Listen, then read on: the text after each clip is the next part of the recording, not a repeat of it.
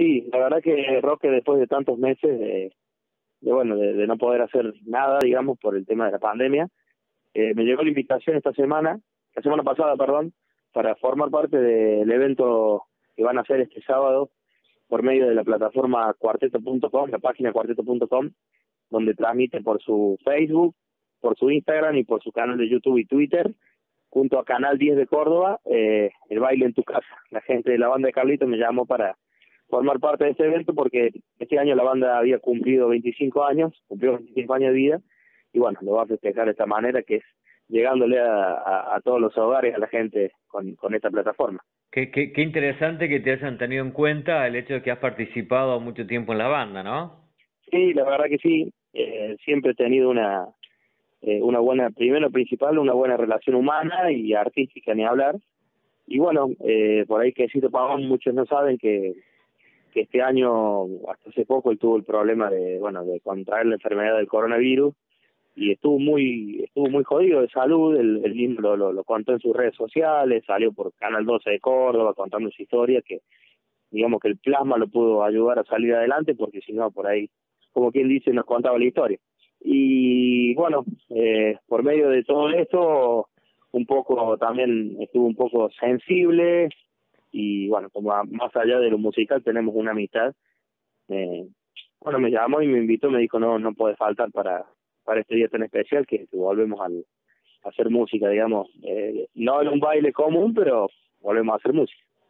Claro, además, eh, un poco lo que decías vos, el, el hecho de que le haya pasado esto, por ahí volver a revivir con, con la música y bueno, y contar con los músicos que de alguna manera hayan pasado también por la banda, ¿no?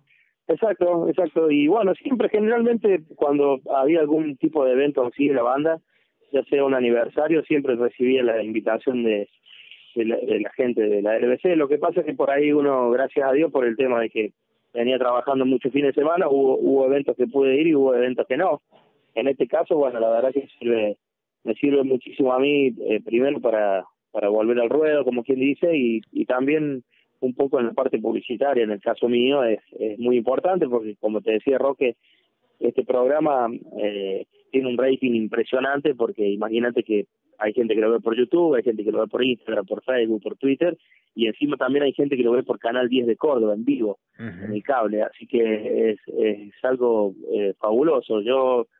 recuerdo cuando esto comenzó, el primero de todos fue Damián Córdoba, y bueno, fueron pasando un montón de bandas de Córdoba legendarias, conocidas, algunas nuevas, y el rating es impresionante, la verdad. Eh, Agustín, bueno, eh, para aquellos que por ahí no conocemos demasiado cómo funciona todo esto, eh, ¿vos tenés que viajar a Córdoba o directamente lo hacen a través de la plataforma de tu casa? Claro, claro, yo tengo que viajar a Córdoba, eh, ah, porque este programa se hace en un estudio de, de,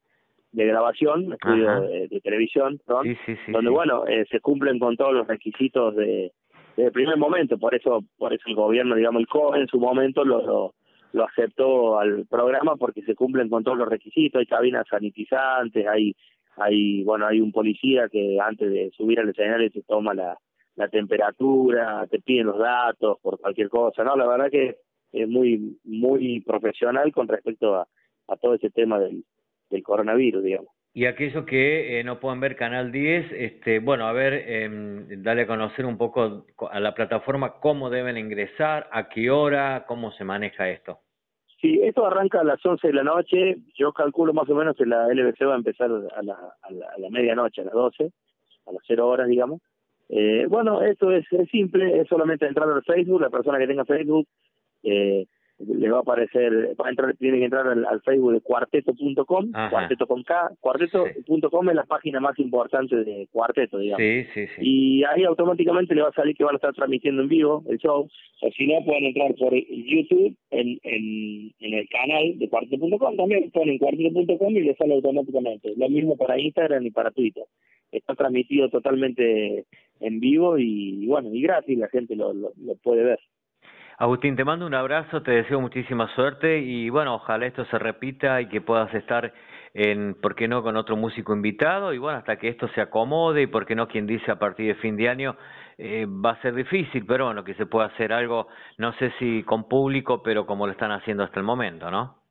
Ojalá, ojalá Roque, que bueno, que principalmente la, eh, la música vuelva porque la, las personas que trabajamos y vivimos de la música necesitamos trabajar. Esperemos que esto se haga, haga nomás, ya se fue